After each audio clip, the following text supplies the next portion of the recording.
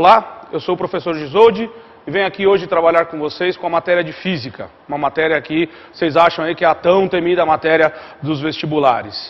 Uh, hoje eu queria falar com vocês um pouquinho sobre as unidades de energia elétrica.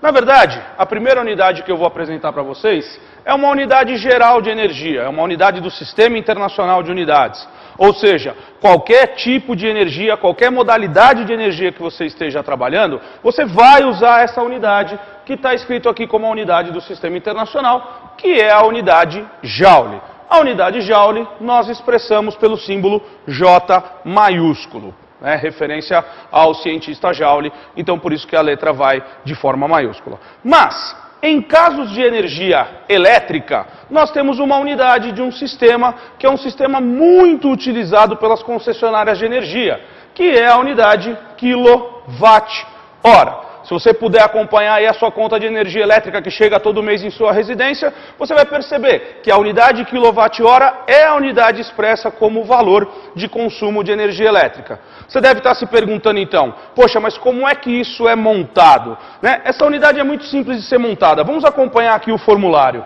Se a potência de um equipamento é igual à variação da energia sobre o tempo de utilização desse equipamento, nós podemos dizer então que a variação de energia elétrica é a potência consumida por esse equipamento vezes o tempo. Com isso, nós conseguimos chegar na unidade do Sistema Internacional para a Energia. Veja só, acompanhe aqui. Se a potência é expressa em watts e se o tempo é expresso em segundos, a variação de energia elétrica é watt vezes segundo, que nós nomeamos joule. Tudo bem? Vamos repetir. Watt para a potência, segundos para o tempo, watt vezes segundo, joule. Essa unidade de tempo segundo é uma unidade muito pequena para as concessionárias de energia. Então eles ampliam a sua medição de tempo, colocando a unidade hora como sendo uma unidade de medição do intervalo de tempo. Então acompanhe novamente aqui. Se a potência em watts e sempre será medida em watts, hein, pessoal? Nunca você vai ter equipamento medido em outro tipo de potência.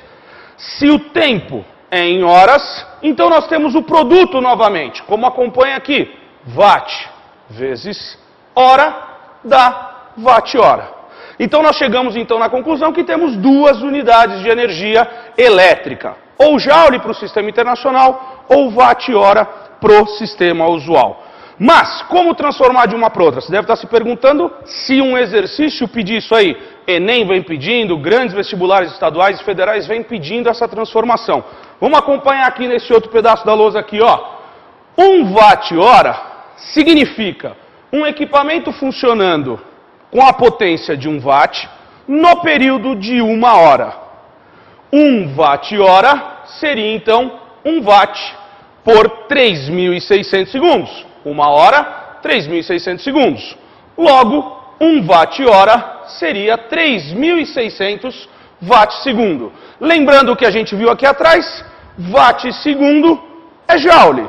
Então a gente chega na transformação ideal. 1 watt-hora são 3.600 joules. Ou trazendo para a unidade que você está acostumado a ver, 1 kWh, que é a unidade que está lá na sua conta de energia, são 3.600 quilojoules. Então essa transformação é uma transformação muito comum, espero que ela venha na sua prova para você conseguir acertar essa questão. Boa sorte nos seus vestibulares, até a próxima.